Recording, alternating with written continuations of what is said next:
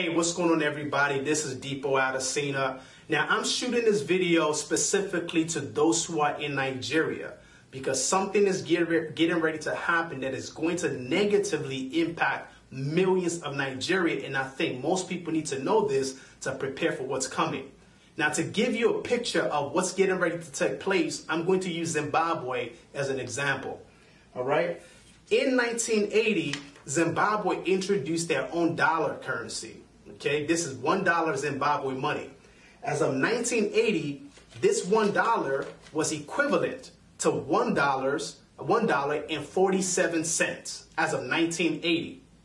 By the year 2007, to get $1, all right, you needed four, I mean 37 million of this to get one of this, which means that their money became worthless because of all the turmoil and they, you know, that was taking place in Zimbabwe.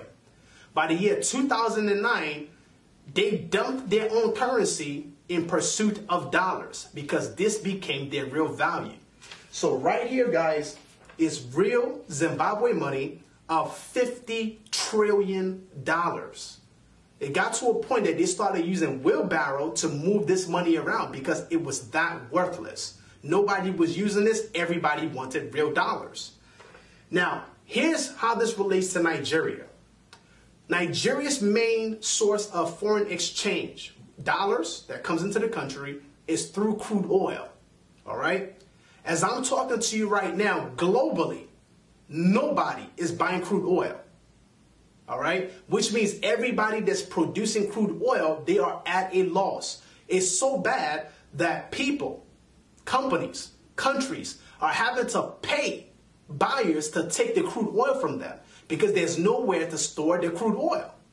So now that Nigeria doesn't have any type of foreign exchange coming in, with the exception of you know those Nigerians in the diaspora that are sending money back home, that is creating a big problem.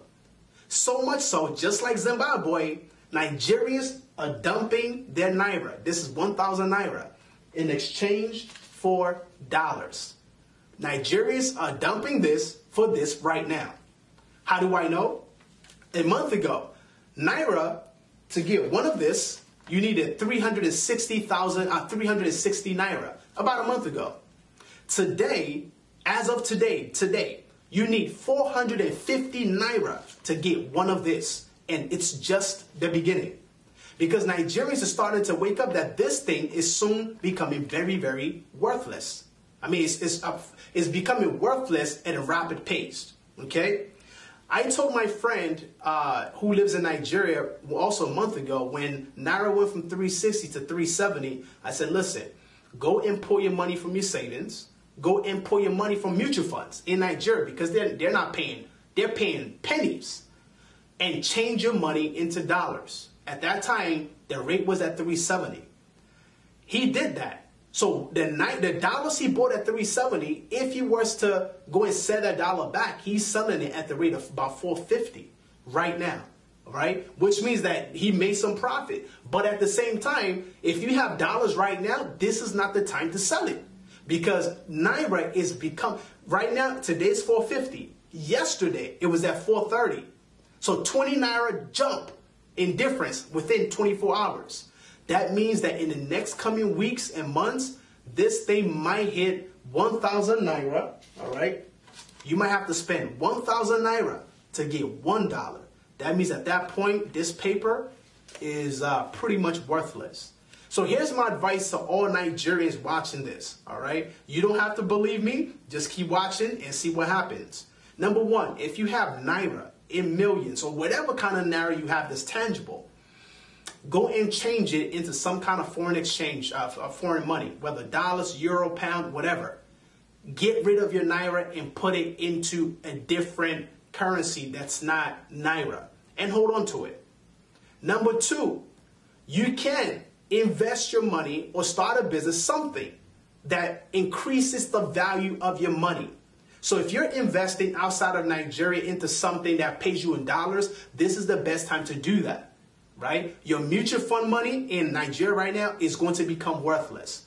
Any form of investment that's paying you in Naira All right, you might get a return, but what you were buying for 100 naira today, you might be paying for that very same thing at 1,000 naira tomorrow.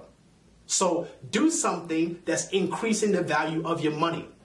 And number three, listen very closely to all my fellow Nigerians. Find a way to get involved in the agriculture sector. In the 60s, agriculture was the backbone of Nigeria. All right? Until Nigeria discovered crude oil and we abandoned agriculture. Now, we are abandoning crude oil because it's not bringing any money. And Nigeria, even the government knows that we got to start diversifying. And the next biggest thing in Nigeria right now is agriculture. Because guess what? People don't drink crude oil. People don't drink refined oil. But people must eat every day. Whether you're rich or you're poor, you have to put something in your stomach. You have to drink something. That is why agriculture is going to be the next backbone of the economy.